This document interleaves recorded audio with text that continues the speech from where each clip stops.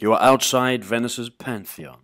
Inside are the tombs of 25 Doges of Venice, more Doges than the United States had presidents in the entire 20th century.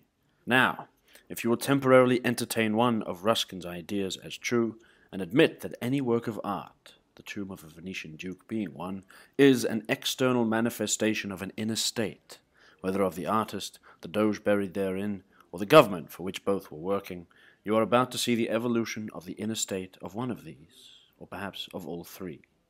You may read the characters of men and of nations in their art as in a mirror. Remember Ruskin? Remember 1423 was perhaps the end of the medieval world. Well, if you backtrack just a little, you're going to walk into this church as a pious medieval warrior saint. You shall come out shortly as an arrogant Renaissance upstart. Step inside.